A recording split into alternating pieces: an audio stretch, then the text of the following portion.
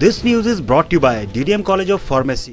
सर्पदंश के कारण कुटलहड़ के करमाली गाँव का 14 वर्षीय बच्चा होशियारपुर के अस्पताल में ज़िंदगी और मौत की जंग लड़ रहा है लाचार माँ बच्चे के इलाज के लिए सरकार व जिला प्रशासन से मदद की गुहार लगा रही है बता दें कि बीते गुरुवार को दो सगे भाइयों को सांप ने डस लिया था।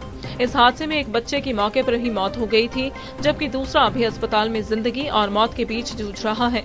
उनके पिता की पहले ही मौत हो चुकी है, जबकि माँ दिहाड़ी लगाकर परिवार का पालन पोषण करती है।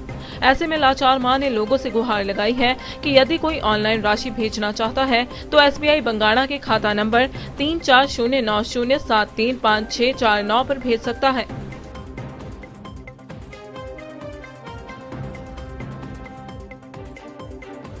दिव्य हिमाचल टीवी के लिए बंगाणा से कृष्णपाल शर्मा की रिपोर्ट।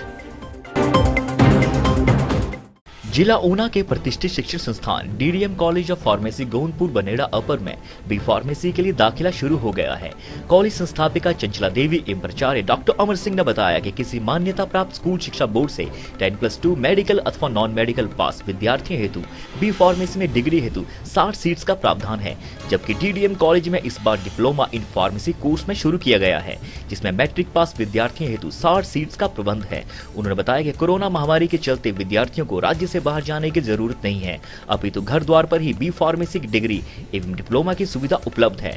उन्होंने बताया कि DDM college of pharmacy Himachal Pradesh तकनीकी विश्वविद्यालय एवं पीसीआई से अप्रूव है। इसमें अत्याधुनिक central instrument room lab library classroom के अलावा अनुभवी एवं प्रशिक्षित स्टाफ उपलब्ध है। यही वजह है कि डीडीएम में पढ़ाई करने के बाद विद्यार्थियों की सरकारी क्षेत्र के अलावा निजी क्षेत्र के फार्मा कंपनियों में प्लेसमेंट की राह आसान होती है।